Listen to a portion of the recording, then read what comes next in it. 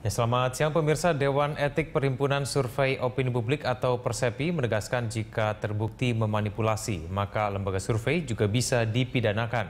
Selain pidana, lembaga survei itu juga dapat diberhentikan dari keanggotaan jika terbukti melanggar.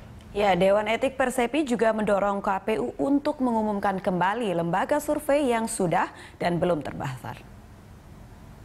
Ada kebutuhan yang urgent yaitu pengumuman hasil pemilu ya tentu harus diusahakan secepatnya lebih lebih awal sebelum uh, pengumuman uh, real count ya, yang rencana akan diumumkan oleh KPU pada tanggal 22 Juli.